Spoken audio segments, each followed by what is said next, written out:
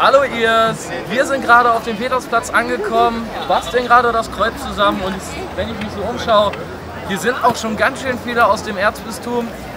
Wie ihr im Hintergrund vielleicht seht, hier sind ein paar Baumaßnahmen, aber davon lassen wir uns nicht abspringen. Wir freuen uns jetzt, gleich in den Petersdom zu gehen.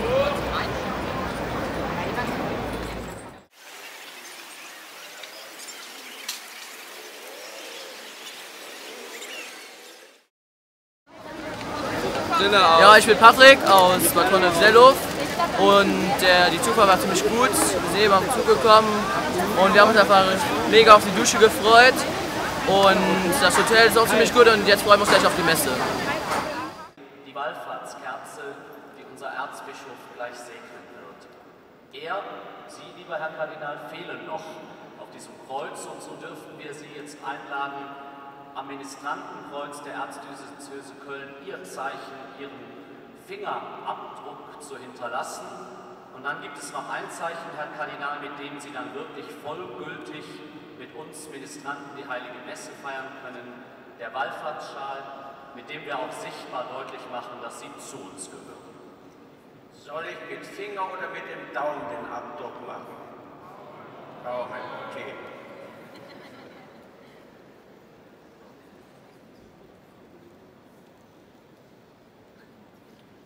Wir singen dazu das Wallfahrtslied 175, Komm, folge mir nach.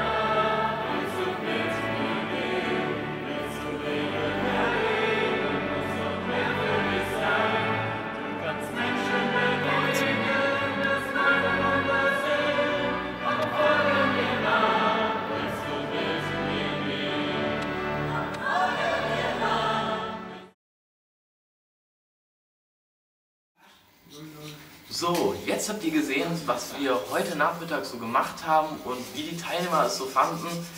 Wir sind hier gerade noch mit dem Arbeitskreis ein bisschen am Kreuz am rumfeilen, weil das passt uns noch nicht so ganz.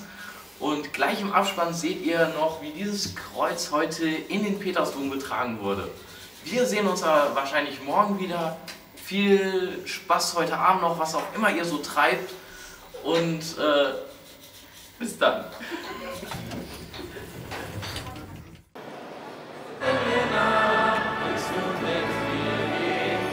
Zu leben, erleben, muss doch mehr für dich sein. Du kannst Menschen bewegen, wirst meine Wunder sehen. Komm, folge mir nach, willst du mit mir gehen? Folge mir nach, willst du mit mir gehen? Willst du leben?